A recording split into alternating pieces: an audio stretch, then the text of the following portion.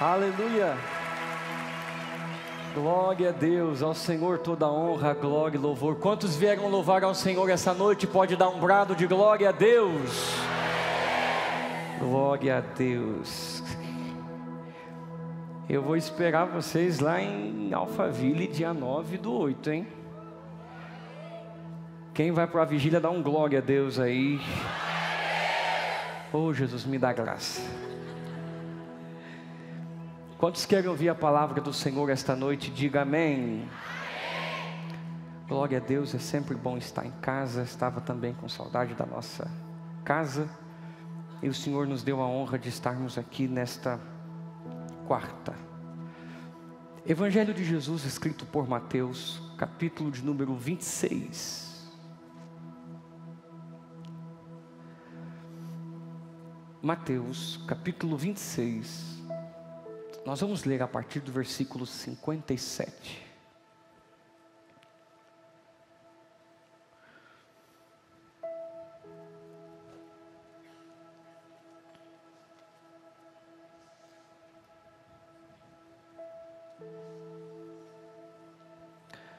Mateus capítulo 26, a partir do versículo 57.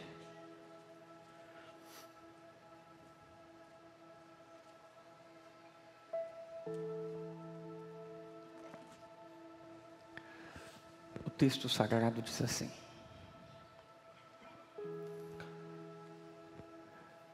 Os que prenderam Jesus o levaram a Caifás, o sumo sacerdote, em cuja casa se haviam reunido os mestres da lei e os líderes religiosos.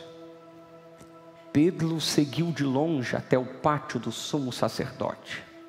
Entrou e sentou-se com os guardas para ver o que aconteceria. Os chefes dos sacerdotes e todo o sinédrio estava procurando um depoimento falso contra Jesus, para que pudessem condená-lo à morte. Mas nada encontraram, embora se apresentassem muitas falsas testemunhas. Finalmente se apresentaram duas que se declararam este homem disse: Sou capaz de destruir o santuário de Deus e reconstruí-lo em três dias. Então o sumo sacerdote levantou-se e disse a Jesus: Você não vai responder à acusação que estes lhe fazem? Mas Jesus permaneceu em silêncio. Eu vou contar até três e todos vamos repetir essa frase, mas Jesus permaneceu em silêncio. Vamos fazer bem forte, para não precisarmos repetir novamente. Vamos lá? Um, dois, três. O sumo sacerdote lhe disse: Exijo que você jure pelo Deus vivo. Se você é o Cristo, Filho de Deus, diga-nos. Tu mesmo disseste, respondeu Jesus. Mas eu digo a todos vós: chegará o dia em que vereis o Filho do Homem assentado à direita do Poderoso e vindo sobre as nuvens do céu. Foi quando o sumo sacerdote rasgou as próprias vestes e disse: blasfemou por que precisamos de mais testemunhas? Vocês acabaram de ouvir blasfêmia, o que acham? É réu de morte, responderam eles. Então alguns lhe cuspiram no rosto, lhe deram murros, outros lhe deram tapas e diziam: Profetiza-nos, Cristo, quem foi que te bateu? E você diz: Amém. Eu queria muito que você olhasse para uns três aí. Lembre a minha língua é presa. Vocês não esqueceram disso não, né? Que é isso? Diga para uns três aí, diga, proteja o seu propósito.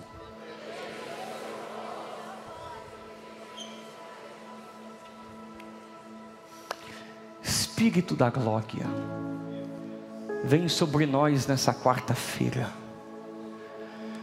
O inimigo não vai tocar no propósito que o Senhor nos deu. Hoje nós vamos fazer, como disse Paulo, uma coisa faço, esquecendo-me das coisas que para trás ficam, e olhando para as que estão adiante de mim, eu prossigo para o alvo, pelo prêmio da soberana vocação.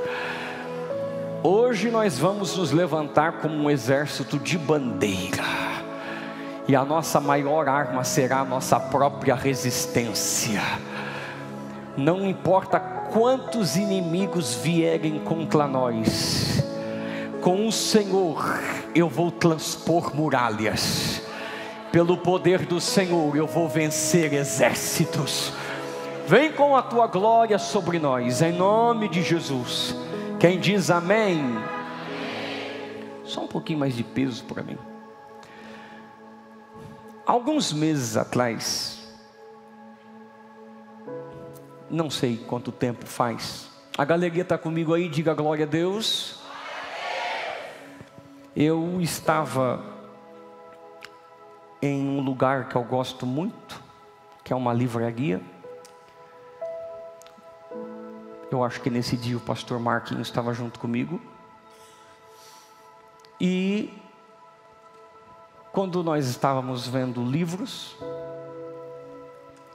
como faço eu fui brincar com o pastor Marquinhos e disse que ele fazia parte de uma posição teológica, mas brincando com ele, o moço que fazia parte da equipe de vendedor, ele olhou para mim, eu o coloquei na brincadeira com o pastor Marquinhos, mas eu não sabia que ele fazia parte daquela posição teológica. O problema é que ele se ofendeu. Se ofendeu tanto que ele começou querer uma discussão comigo, mas eu não percebi que ele estava ofendido. Porque ele disse: Você discorda dessa posição por quê? E quando eu pensei que seria uma conversa saudável, começou a se tornar um debate.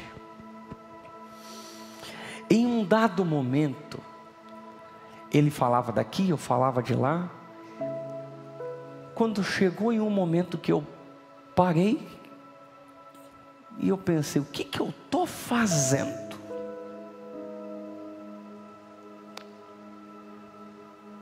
Eu não sei quem é ele, não conheço ele.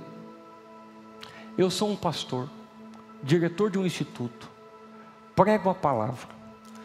Não sou popular, mas o Senhor tem dado um certo nome. As pessoas na loja pagando e olhando, que, que eu estou fazendo?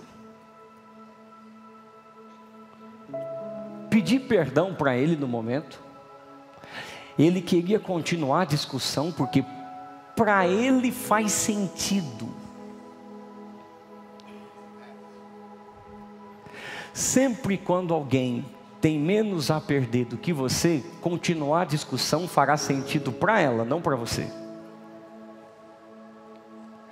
Porque essa é a maneira de conseguir o holofote que você tem. Como não consegue o mesmo destaque com a unção que você tem, quer conseguir o teu destaque distraindo você com discussões que você não deveria estar entrando. Vocês estão aqui?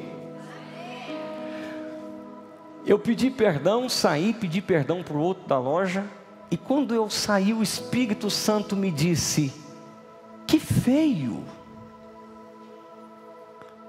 Se comportando em uma posição de se rebaixar onde eu não te coloquei, que feio! Foi naquele momento que eu aprendi. O que é que você ganha quando você ganhar uma discussão que não tem nada a ver com o seu propósito? O que é que você ganha? Hein? Você ganhou aquela discussão em família. Tá, e ganhou o que mais? se não pode nem jantar na casa? Ganhou aquela discussão na empresa e depois foi mandado embora. Ganhou o quê? Ganhou aquela discussão no casamento. Mas já quanto tempo faz que não dormem juntos? Do que adianta ganhar uma discussão que não vai te levar a nada porque está distante do seu propósito? Eu quero ministrar nesta quarta-feira que o Senhor quer nos livrar de entrar em distrações que só vão drenar a nossa energia. E quando a gente estiver de frente com aquilo que fomos chamados para fazer, não temos mais energia porque gastamos ela em coisas que não faziam sentido. Eu estou ministrando em nome do Senhor Jesus que algumas vezes fugir não é um ato de covardia, é um ato de coragem para quem sabe de fato o propósito que deseja viver. Vocês não deram glória porque não entenderam. Vamos de novo. Fugir não é um ato de covardia, algumas vezes será um ato de coragem quando você está com clareza de propósito para o que você quer viver. Você vai chamar José de covarde quando ele fugiu da mulher de Potifar? É corajoso o suficiente para, mesmo correndo risco, e mais interessante do que isso, ele não apenas fugiu da mulher, ele voltou para dar satisfação, porque como que ele foi pego? Eu estou ministrando que quando você está alinhado ao seu propósito, você começa a fugir de situações que algumas vezes para quem está do lado de fora, se você ficar preocupado com o que vão pensar naquele momento, você pode entrar em discussões que não fazem parte de quem você é, você pode entrar em brigas que não fazem parte do que você é, você pode entrar em agendas que não fazem parte do que Deus te chamou para ser, e o Senhor está mandando eu te dizer: se você não tiver clareza de propósito, você vai estar lutando lutas erradas, em horários errados, em lugares errados, e está perdendo perdendo tempo em viver o que eu te chamei para viver. A primeira coisa que você precisa ter é clareza de propósito. Repete comigo, diga clareza de propósito. Se você tiver clareza de propósito, algumas coisas vão acontecer. Primeiro, diga comigo, quem tem clareza de propósito, fica nítido no semblante Lucas capítulo 9, versículo 53. Está escrito assim: Mas os samaritanos não receberam Jesus, porque se notava. Por quê? Se notava que ele ia.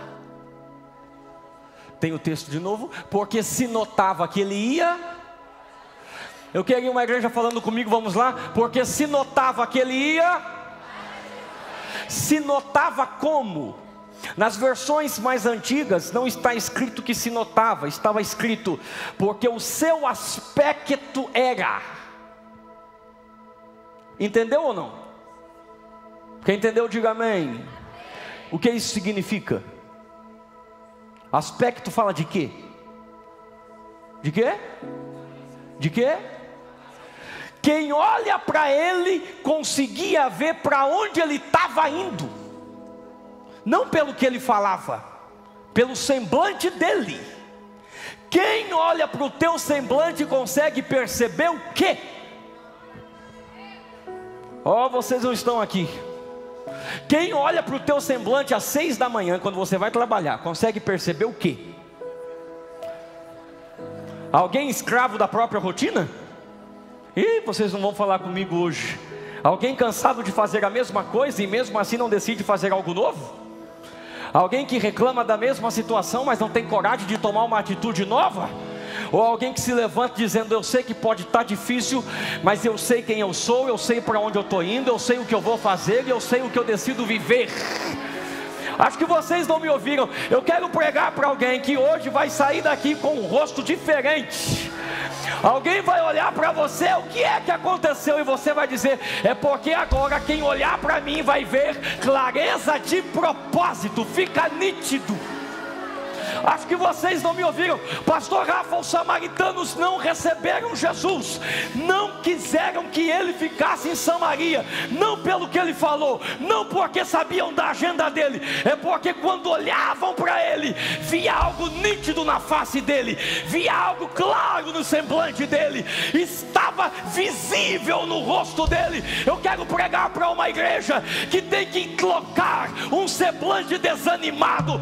Nós dizemos que somos geração eleita com um semblante triste. Nós dizemos que somos sacerdócio real com um semblante murmurador, pois pode estar chovendo canivete. O meu semblante será de propósito. Eu sei em quem eu tenho crido. Queria alguém comigo aqui? Eu quero que você olhe para alguém e diga: mude o teu semblante hoje. Diga, mude o teu semblante hoje. Diga, coloque semblante de alguém decidido. Coloque o aspecto de alguém decidido. A Bíblia diz que quando o sacerdote ali disse para Ana que Ana recebeu a oração que ela pediu, o texto disse, e o semblante dela não era mais o mesmo, não era mais o semblante de estéreo, era o semblante de alguém que estava prestes a gerar o maior profeta de Israel. Eu queria alguém comigo, eu não sei você você, mas eu vou sair daqui hoje com um semblante de alguém que está gerando algo em Deus.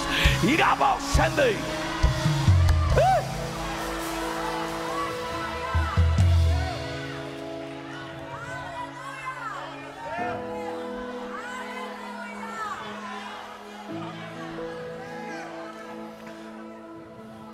Segundo, Diga comigo, diga quem tem clareza de propósito. Não faz paradas desnecessárias. Hum, vocês não estão aqui comigo.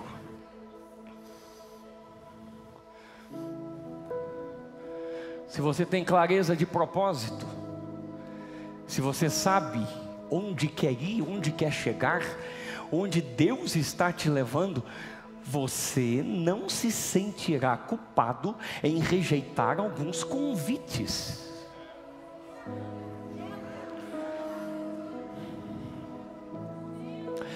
Se você ficar preocupado demais com que o outro leve para o lado pessoal, então você vai ficar vivendo da agenda dos outros a vida inteira.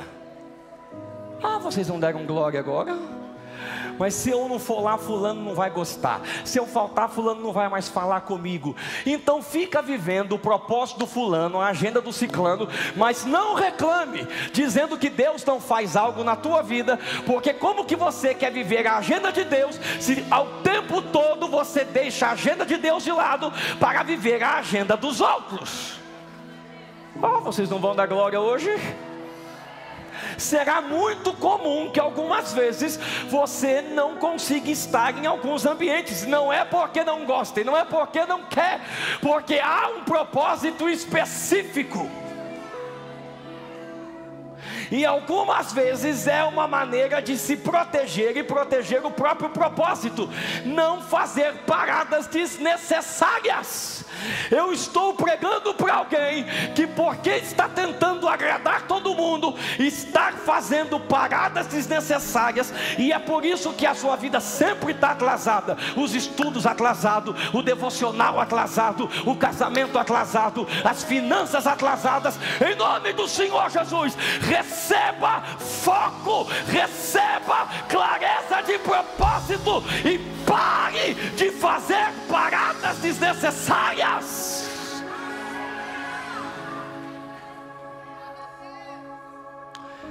Eu não quero saber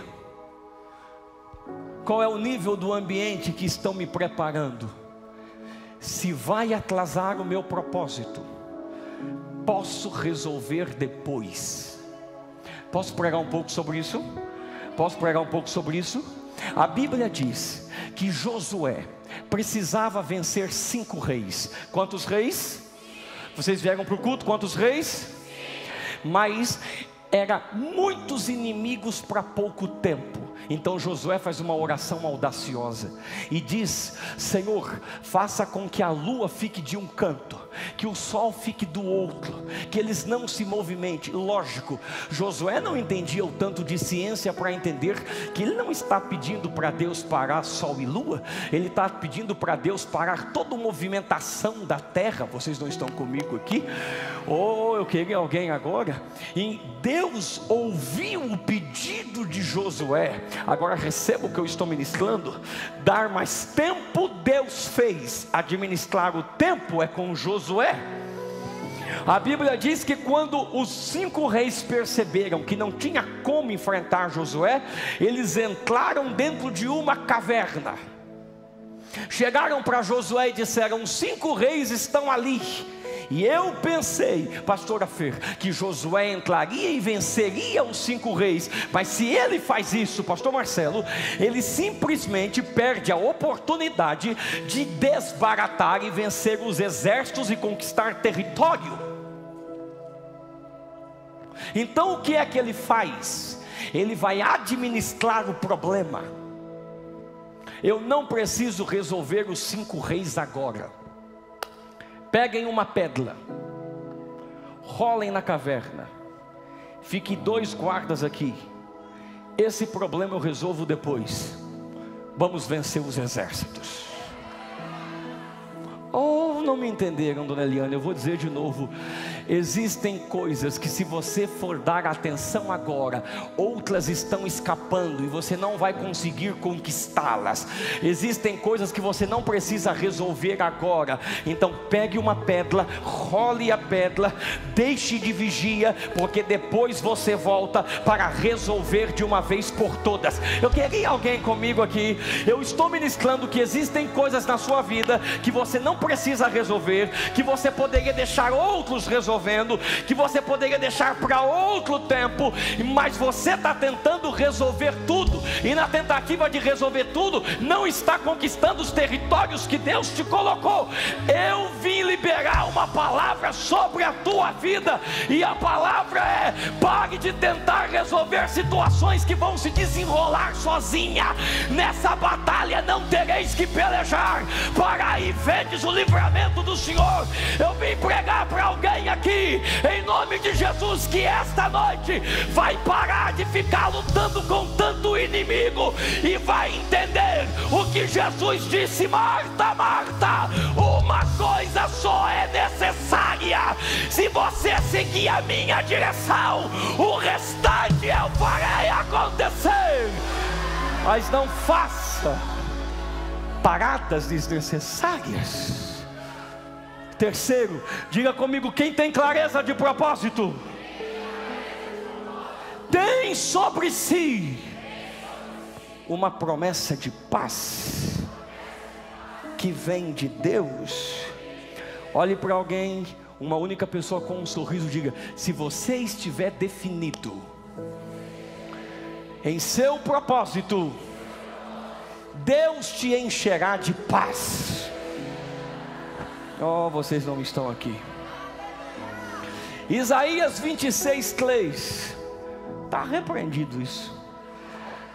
Isaías 26, 3. Está escrito assim: Tu guardarás em perfeita paz aquele cujo propósito está firme, porque ele confia em ti. Muita gente, pouca voz, então vou de novo. Tu guardarás em perfeita paz. Oh, você não me ouviu. Comecei a me mover na direção que Deus mandou, tudo começou a dar errado, mas parece que eu não estou em desespero. Oh, você não, não me ouviu. Está firme no propósito, é com você te encher de paz é comigo. Você não me ouviu, você não me ouviu, você não me ouviu. A ideia do texto é, Pastor Marquinhos, Deus guardará e tu guardarás em perfeita paz. Não me ouviu? Ele vai te guardar, Ele vai te colocar numa redoma de paz paz.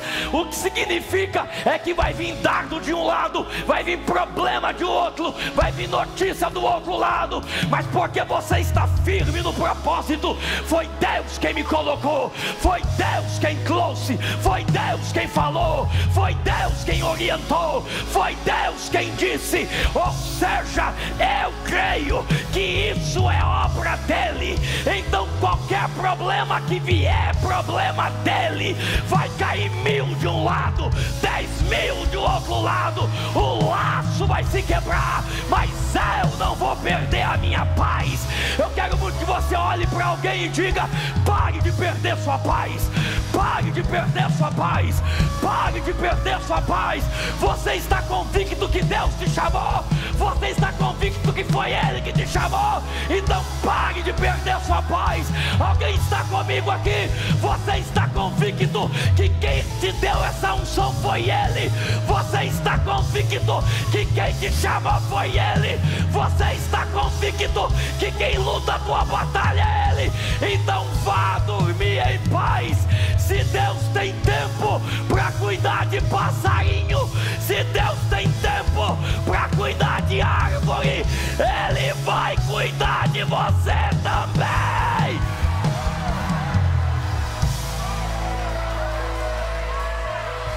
Paz, paz, levante as mãos, paz, o maior bagulho de adoração, paz, paz, paz, receba paz para entrar naquela casa. Receba paz para entrar naquele emprego. Receba paz para entrar naquele carro. Receba paz para entrar naquele escritório. Tem alguém comigo? Eu estou sozinho aqui. Receba paz. Receba paz receba a paz, receba a paz. Eu estou ministrando até alguém receber. Haverá tanta paz em ti, haverá tanta paz no teu coração, que quem estiver ao teu lado vai dizer: Ah, você está entendendo o que está acontecendo?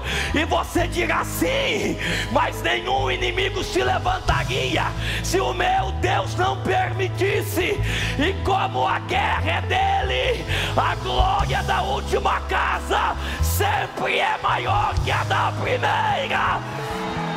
Paz. Quanto custa a sua paz? Você pode me ajudar a pregar? Pergunte para alguém. Pergunte aí e diga quanto custa a sua paz.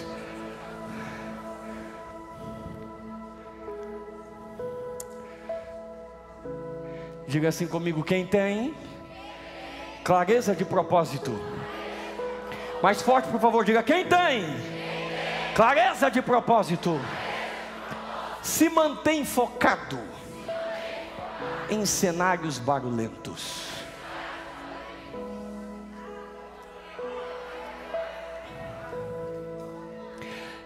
Me permita a galeria descer só um pouquinho.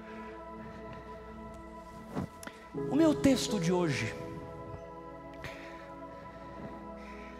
eu não prestei atenção, que é um cenário barulhento.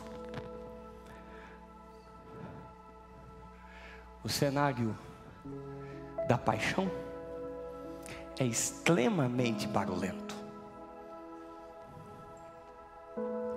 Uma multidão de sacerdotes e soldados invadindo o jardim só para prender um único homem é muito barulho. Alguém sacando a espada para tentar defender Jesus?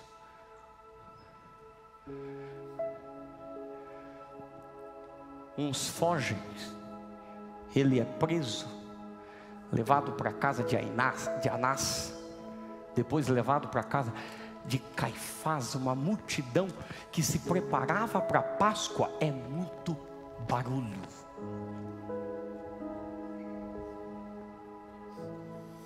Se manter focado no seu propósito, em um cenário de barulho, é um desafio.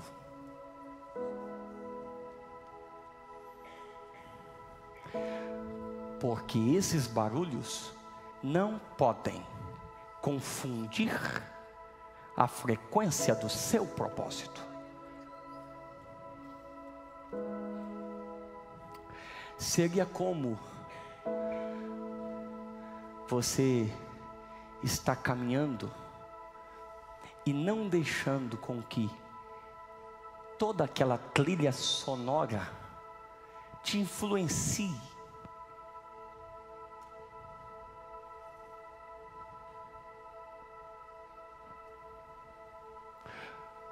Qual é o barulho que está fazendo você ter um comportamento irritado e irritante e te impedindo de perceber que tudo isso faz parte do propósito que você decidiu viver?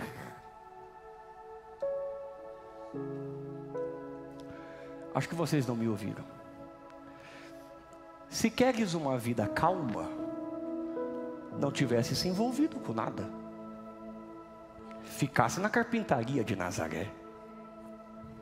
Oh, vocês não me ouviram. Não quer ninguém te mandando mensagem? Não tivesse aceitado nada. Ficasse na carpintaria de Nazaré. Mas você aceitou. Então você tem que entender que eles não podem ter o privilégio de atrapalhar o propósito no teu coração, porque nenhum bagulho do lado de fora pode ser maior do que a voz que está aqui dentro de você.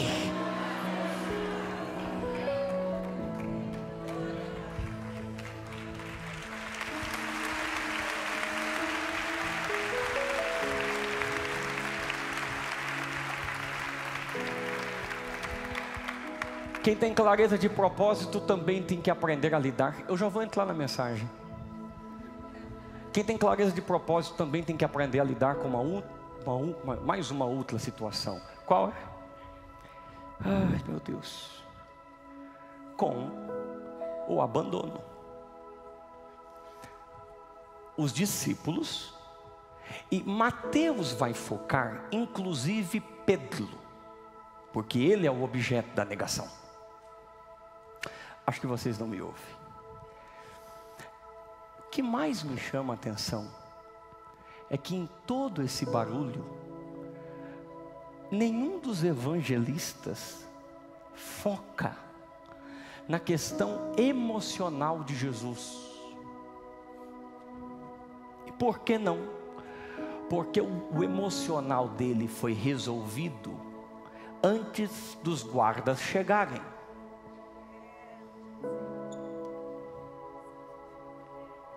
Você não resolve o seu emocional no meio da multidão. Eles não suportariam ver os seus desabafos. Emocional se resolve no quarto fechado. Só Deus entende você como você é. Porque você não tem tempo de quarto fechado, você explode no meio da multidão. Se você tivesse tempo de quarto fechado, você transpiria gotas de sangue no jardim. Você gritaria no jardim, mas diante da multidão é o semblante de propósito. Ah, eu queria alguém comigo aqui. Eu não vou dar o privilégio dos meus inimigos ver as dificuldades que eu tenho, porque é elas quem vai conhecer ao meu Pai. Eu queria alguém comigo. Tem alguém que recebe o que eu estou ministrando? Sabe por que todo mundo vê o seu lado explosivo? Porque isso indica que você está fugindo da oração. E quando você foge do jardim, então você não terá emocional equilibrado para lidar com situações que fará parte do propósito. Eu acho que você não me ouviu. Receba o que eu estou estou ministrando, a rejeição faz parte do propósito. E se você não entender que ela faz parte do propósito, você levará ela para o lado pessoal.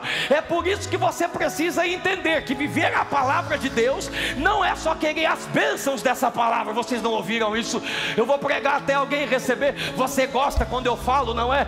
Você gosta quando eu digo aquele que habita no esconderijo do Altíssimo, a sombra do Onipotente se guardará. Você só não gosta quando eu digo que a Bíblia Bíblia também diz que o meu inimigo feriu o meu calcanhar, é aquele que sentava na mesa comigo. Você gosta quando eu digo, o Senhor é meu pastor e nada me faltará, mas você não gosta quando eu digo, se passares pelo vale da sombra da morte, tu estarás comigo. Eu tenho uma geração de crente que só quer viver as bênçãos da palavra e não os processos da palavra. Eu não vejo Jesus preocupado com os processos, porque ele sabe que tudo que ele está vivendo é o propósito pelo qual ele acabou de aceitar no jardim. Eu queria alguém comigo aqui. Ele não tem medo de ver os discípulos fugindo, porque na verdade o que parece ser problema é cumprimento de palavra. Zacarias capítulo 13, verso 7 diz: Ferirá o pastor e dispersará as ovelhas. É natural que eles fujam, mas o que é tragédia para mim é cumprimento de palavra. Eu vou caminhar, eu vou caminhar. Olhe para alguém e diga: o que para o inimigo é tragédia, diga para mim é cumprimento. Diga para mim, eu estou vivendo a promessa. Não bate na mão de uns três, diga: eu estou vivendo a promessa. Eu estou vivendo a promessa. Ninguém quer, mas eu estou vivendo a promessa. A porta se fechou, mas eu estou vivendo a promessa. Tudo parece que se perdeu, mas eu estou vivendo a promessa. Você só consegue ver a quinta, mas no domingo pela manhã você vai ver o que eu já estou vivendo agora. Ai!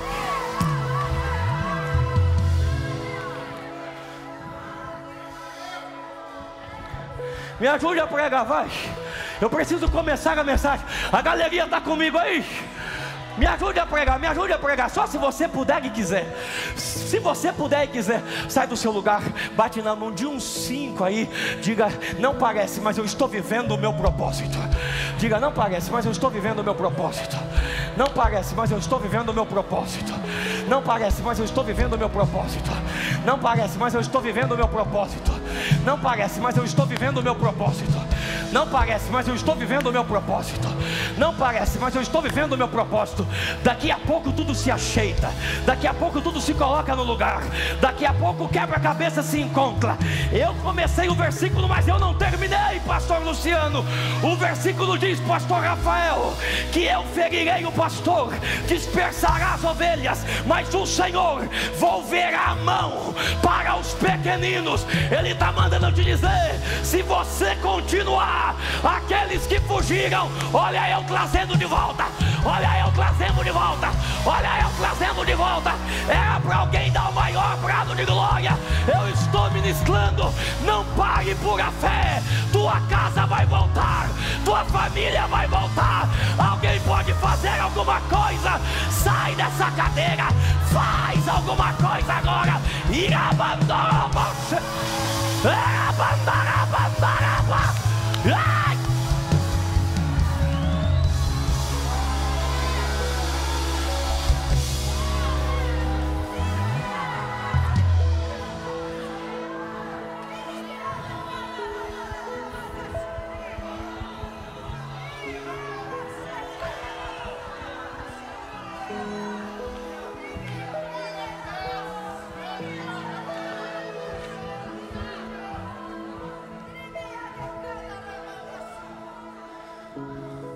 Levante as mãos em adoração por um momento.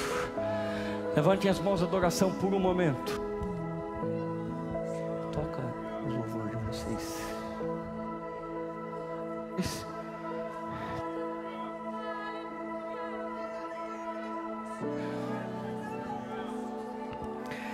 Sabe, olhe para mim. Eu vou entrar na mensagem agora.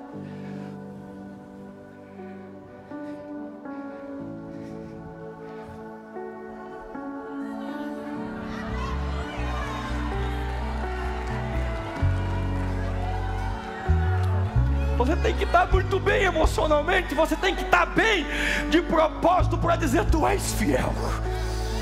Eu não estou vendo o amanhã, mas tu és fiel. Nada está fazendo sentido, mas tu és fiel.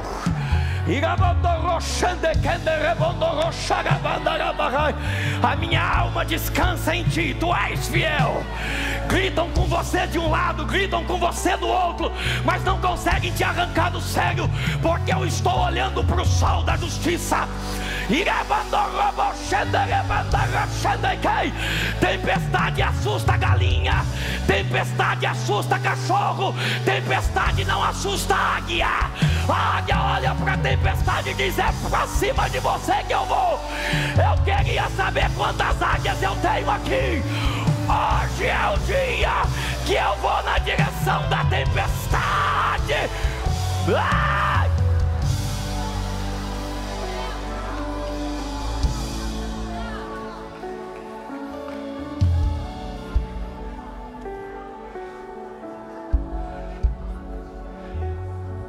Diga assim comigo. Diga assim comigo. Diga para proteger o meu propósito.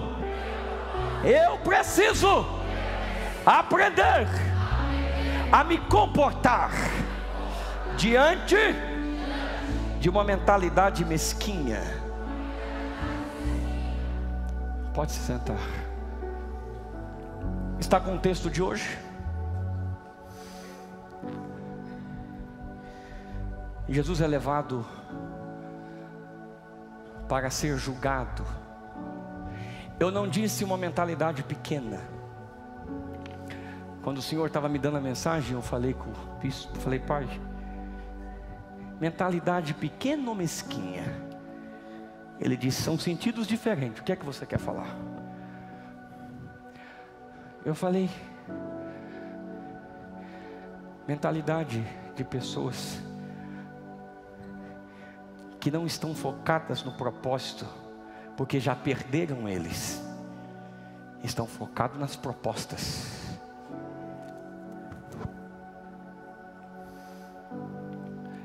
Não conseguem olhar o propósito, só o esquema. Eu estou dizendo que Anás e Caifás, os dois sumos sacerdotes, Pastor Chiquinho, nosso professor de instituto, a aula de vida devocional, o pastor Chiquinho vai estar dando aula.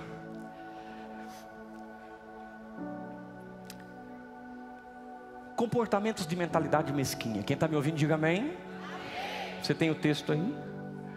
Mateus 26, 57. Eu já vou começar a encerrar. Primeiro, o texto diz que prenderam Jesus e o levaram onde? Levaram onde? Onde? Mas levaram onde? Onde? Casa. Na onde? Na casa de Caifás. É isso mesmo que eu li? É sério. Vão reunir o sinédrio, que é o poder de julgamento e vão fazer um julgamento à noite, o que não se podia em Israel. E vão fazer o julgamento dentro da casa de Caifás. Vocês não estão comigo aqui? Vamos de novo. Não se faz o julgamento em uma casa. Não. Não. E por que faz? Porque não é um julgamento, é uma farsa. Não entenderam. Marcos capítulo 14, versículo 1 vai dizer que dois dias antes da Páscoa, eles já tinham decidido prender Jesus e matá-lo. Eles não querem um julgamento, eles querem uma montagem.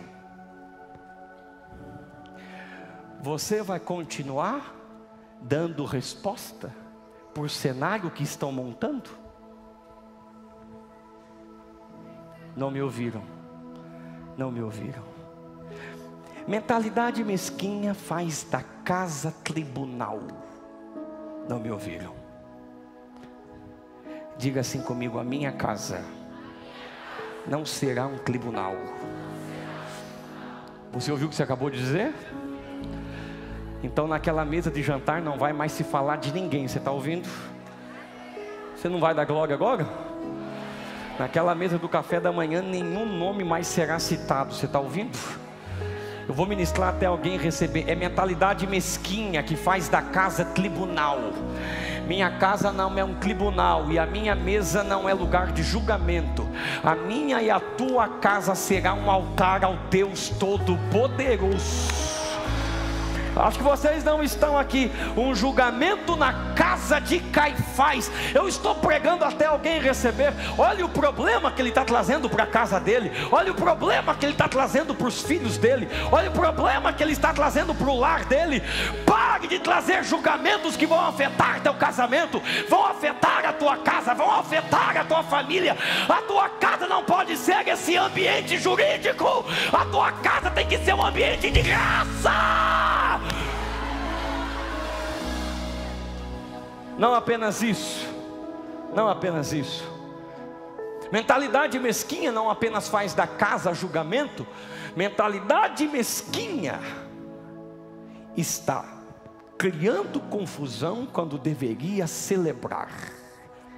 Não me ouviram? Que data era? Páscoa. Que data era? Que data era? Era a data de Páscoa e eles estão fazendo julgamento. Ou vocês não me ouviram? Vocês não me ouviram, eu vou dizer de novo. Data de Páscoa e fazendo julgamento. Se você ler o texto com atenção, é até uma discussão entre os teólogos se eles foram, se deu tempo de eles conseguirem celebrar a Páscoa. Eu estou ministrando de pessoas que estão iguaizinhas o irmão mais velho do filho pródigo. Não me ouviram, não me ouviram. Não é interessante que quando Jesus contou a parábola do filho pródigo, o irmão mais velho era de fatos religiosos. Vocês não me ouviram, vocês não me ouviram. E eles estavam se comportando igualzinho o irmão mais velho. Como? Eles não celebram a festa, eles ficam discutindo. Eu queria alguém comigo aqui. Eu estou pregando que com o passar do tempo, se algumas coisas não saem do jeito que nós queríamos, nós perdemos de celebrar o momento para ficar discutindo situações que não saíram conforme nós queríamos. Eu não sei se você recebe o que eu estou ministrando, mas uma coisa que o Senhor quer que nós aprendemos é hoje. Eu não vou perder o meu momento e eu não vou perder de celebrar só porque algumas coisas saíram do meu controle, porque se saíram do meu controle, estão no controle de Deus. Eu não vou perder o meu momento. Eu queria alguém comigo aqui. Você pode olhar para uma pessoa, diga: até quando nós vamos ficar brigando quando deveríamos estar celebrando? Eu queria alguém comigo aqui. Eu queria alguém comigo aqui. Alguém recebe o que eu estou pregando agora? Alguém recebe o que eu estou pregando agora? Deus está arrancando mentalidade mesquinha agora. Eu queria alguém comigo aqui. Não foi o carro que você queria, mas celebre, já é alguma coisa. Eu queria alguém agora. Não é a porta que você imaginou, mas já é alguma coisa. Celebre agora. Não é o apartamento dos sonhos, mas você já não está onde estava, ou quer voltar para aquela prova. Celebre agora. Não é o salário que você queria, mas já está resolvendo. Celebre agora. Eu queria alguém comigo. Não tem tanto agenda como você pensava, mas já estão te vendo. Celebre agora. Eu queria alguém comigo aqui. Você está reclamando quando nem consegue perceber que está vivendo, que muita gente está orando para viver. Eu vim nessa quarta-feira para convidar por a fé, ou vai ficar resolvendo coisas pequenas, ou eu vou celebrar. Cordeiro morreu, Faraó foi afogado nas águas do Mar Vermelho. Tem mais alguém que vai celebrar?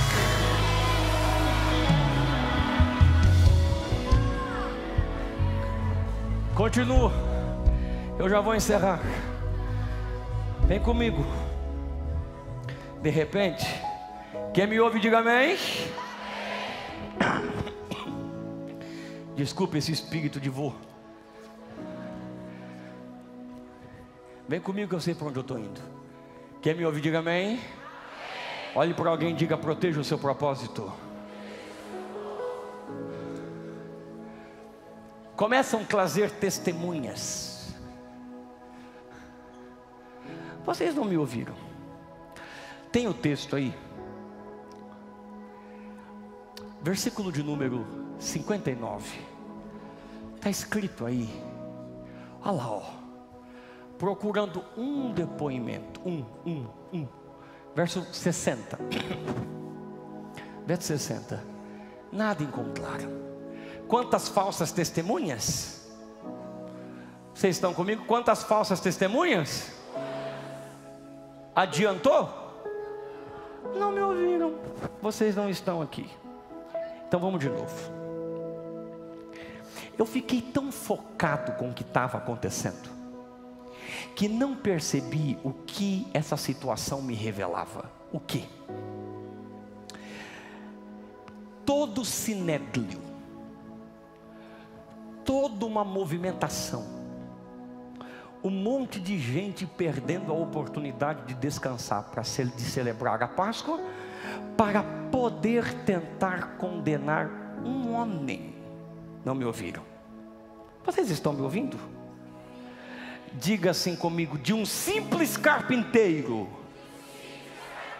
para procurado de todo o sinédrio. Vocês não me ouviram. Então, o Espírito do pastor Marquinhos vai abaixar em mim e eu vou falar uma frase agora. O nível do ataque revela o quão perto você está do propósito.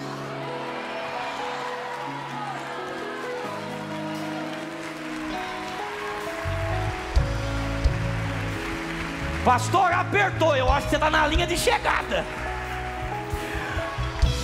Pastor, o inferno inteiro se levantou. Eu acho que você já está na porta do propósito. Pastor, começou a ficar mais difícil. Eu acho que você já está chegando lá. Pastor, eu acho que começou a ficar muito estranho. Quebra isso, quebra aquilo, é carro que quebra, é micro-ondas que quebra, é fofoca dali, é problema de lá. O que é que está acontecendo? Quanto mais perto você está, mais o ataque aumenta para ver se você desiste. Mas não sou eu que vou desistir, é eles que vão ter que se cansar. Eu queria alguém comigo agora.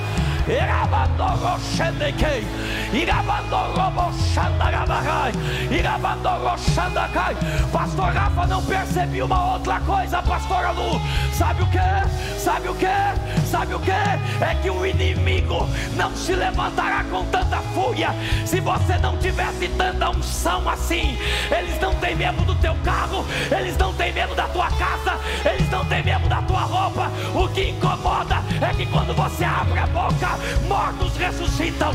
Quando você estende a mão, milagres acontecem. Eles não estão brigando com você, eles estão brigando contra a unção que está na tua vida. Mas eu vim liberar uma palavra no lugar da tua vergonha. Eu te darei, eu te darei dupla, dupla. Você não der glória, agora eu vou embora.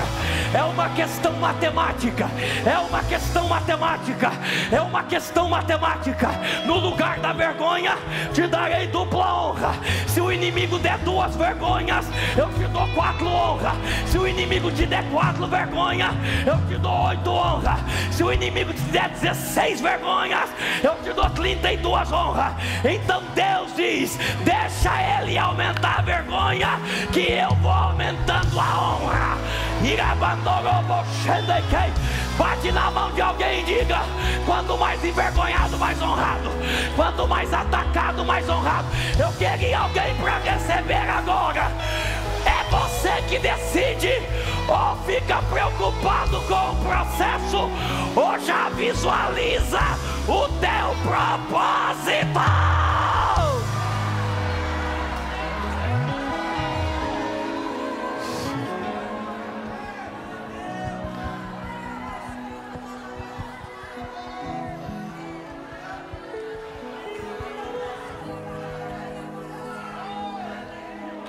Vocês me deixam pregar mais um pouco? Eu acho que eu vou voltar só em outubro mesmo. Como proteger o propósito? Quem me ouve, diga amém. Eu vou falar apenas um e eu encerro. Como proteger o propósito? Escolhe uma única pessoa, dê um sorrisão e diga assim: aprenda a fazer silêncio.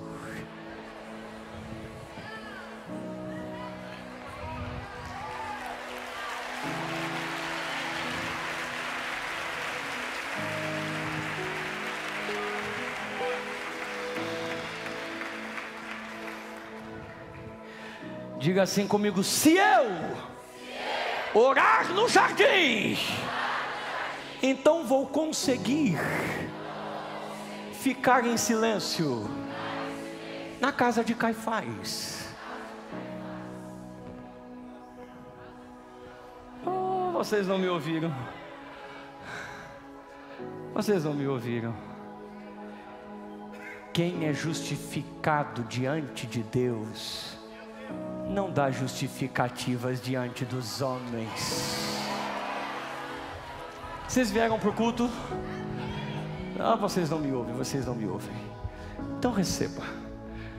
O texto diz que começou acusações. E as acusações são falsas. São o quê? Receba o que eu estou pregando agora.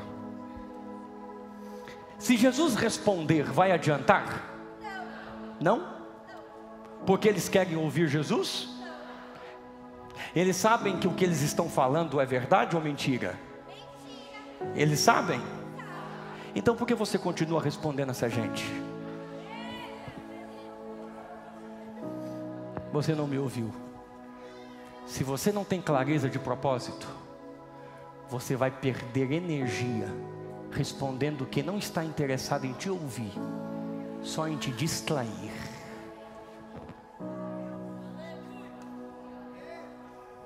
Vocês não estão me ouvindo. Eles não têm uma cruz para carregar, Jesus tem. Poupa energia. Eles não têm uma coroa de espinho para ter na cabeça, Jesus tem. Poupa energia. Eles não têm um mundo para salvar, Jesus tem. Poupa energia. Eles não têm perdão para liberar, Jesus tem. Poupa energia. Eles não têm uma mãe para dar o destino, Jesus tem. Poupe energia. Vocês não estão comigo? Eles não terão que enfrentar Pilatos, Jesus sim poupa energia.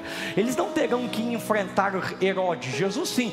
Vocês perderam a oportunidade de dar o maior brado de glória, porque você começa a perceber que de qualquer modo ou de outro, você vai estar onde Deus quer que você esteja, da carpintaria para diante do governador de Jerusalém, da carpintaria para diante do rei Herodes. Você não me ouviu, não, não, você não me ouviu. Nem que seja para tentar zombar, vão ter que te colocar na frente deles. Eu queria alguém comigo aqui.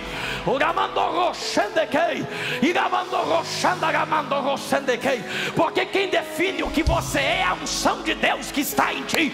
Eu queria alguém comigo aqui. Eu quero muito que você olhe para alguém e diga: Olhe para alguém e diga: lembre das responsabilidades que Deus te deu. Diga para alguém, diga para alguém. Liga, lembre das responsabilidades que Deus te deu. Liga, diga, lembre do que Deus te colocou para fazer. Diga, lembra, liga, lembra, lembra. Pergunte para alguém, diga, você consegue lembrar? Diga, você consegue lembrar? Diga, Fale agora o que Deus te deu para fazer. Eu vou falar, eu vou falar. Sou pastor de uma igreja, tenho uma esposa, tenho um filho, sou pai, diretor do instituto, dou aula, tenho que pregar. Eu não posso gastar energia com fofoca. Eu não posso gastar energia respondendo em WhatsApp e Instagram. Eu queria 10 comigo agora. Eu não posso gastar energia com problemas de bebê. Tem alguém comigo? Eu estou sozinho aqui. Eu quero muito que você olhe para alguém e diga: Hoje o silêncio vai ser a minha maior arma. Diga para alguém, diga para alguém, diga para alguém. Você não precisa responder. Quem Deus não te chamou para ficar respondendo. Eu não sei se você entende o que eu estou pregando, mas você precisa de energia. Tem algo novo chegando aí. Tem uma cruz aí. Tem um propósito aí. Eu queria alguém para receber o que eu estou pregando. Eu vou pregar a pastora Vanessa até alguém receber. Eu não posso gastar energia tem um ministério para liderar, tem uma porta para se abrir, tem demônios para vencer. Para receber o que eu estou pregando agora. Eu vim nessa quarta-feira liberar uma palavra sobre a pura fé, família. Ou melhor dizendo, olha aí, a pura fé, Pai Cambu. E a palavra é essa: todo demônio que se levantou, ele vai ter que ser destruído agora. Agora!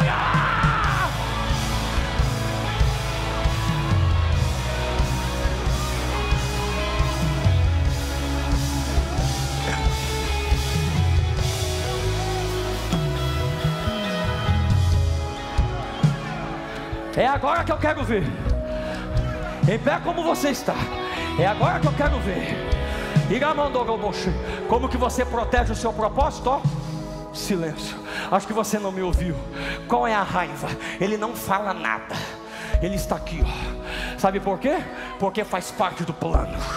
Estão mentindo, faz parte do plano. Estão te atacando, faz parte do plano. Se levantaram, faz parte do plano. Estão dizendo inverdades, faz parte do plano. Mas receba o que eu estou pregando. O teu silêncio irrita eles. Como eles não suportam o teu silêncio, eles vão querer te fazer falar. Se a primeira arma é silêncio, a segunda arma para proteger o propósito, diga comigo, coragem. E sabe por que coragem? Fechei a Bíblia. Outro dia eu continuo. Tem o texto aí? O versículo, o versículo seguinte diz que Jesus, versículo 62, quando 63, quando Caifás diz: Eu juro em nome de Deus, diga-nos, você é o Messias. Mas ele está perguntando o Messias político. E já que ele jura em nome de Deus, ele precisa, pastora Épica, responder, porque agora não é mais diante Caifás, agora é diante do seu pai ele não está respondendo para Caifás, ele está respondendo diante do Pai. Olhe para mim, olhe para mim.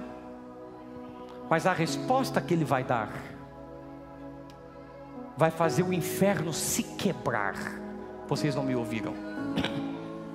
Por causa dessa resposta, ele vai apanhar, ele vai tomar tapas. Me ouça.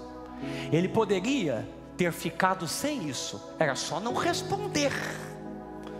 Você tem que ter coragem para assumir o propósito na frente dos adversários. Você tem que ter coragem para dizer, ainda que vocês não acreditem, foi para isso que Ele me chamou, foi para isso que Ele me escolheu e eu consigo ver o que vai ser nos meus próximos anos. Vocês não me ouviram? O texto diz que Jesus olhou para ele e disse: Você disse. Se vocês não derem glória, eu vou embora. Porém, eu vos digo: vai chegar o dia vocês não me ouviram?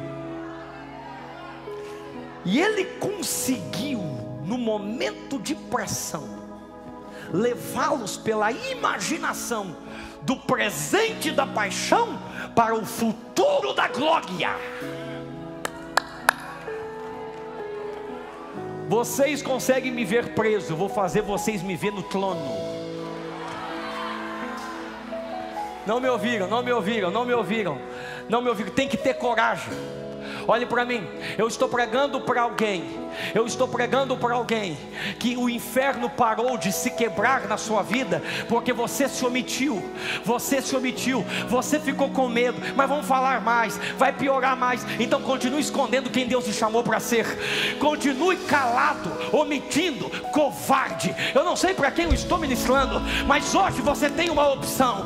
Qual é a opção? Chega de esconder quem Deus me chamou para ser. Chega de esconder o que Deus colocou em mim. Eu queria alguém comigo. Eu queria corajosos hoje para dizer: chega. O inferno inteiro pode se quebrar. Pode vir o ataque que vier. Mas eu não vou mais esconder quem Deus me chamou para ser. Hoje é o meu dia que eu aceito o meu propósito e eu sei que o que eu estou vivendo agora é apenas parte do processo. Eu já vi o meu futuro e lá eu estou bem melhor do que agora. Calma. Jesus disse: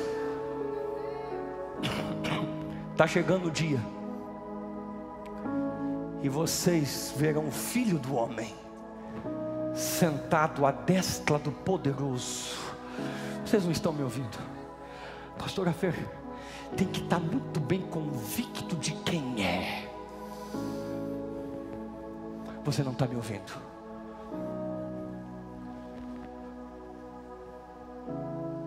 Ele conseguiu visualizar o futuro no meio da sua pior tragédia.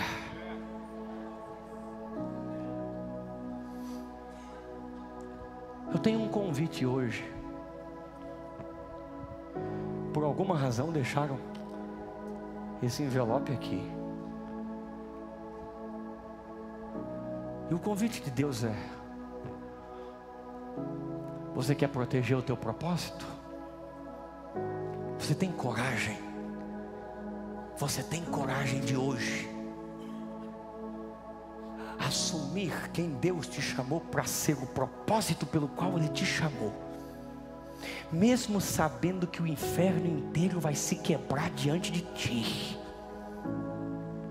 Mas por qual razão eu não terei medo que o inferno se quebre? Porque eu já consegui ver meu futuro. Eu sei qual é o meu lugar. Eu sei o que Deus tem preparado para os próximos dias.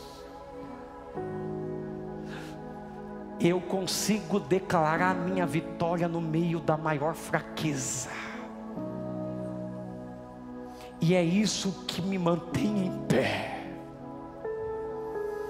Porque eu consigo ver além da cruz eu consigo ver além dos tapas. Eu consigo ver o futuro que o meu pai garantiu. E não apenas eu. Quem estiver à minha volta vai olhar no meu semblante e vai perceber para suportar tanto assim, só com tanta certeza de quem Deus te chamou para ser.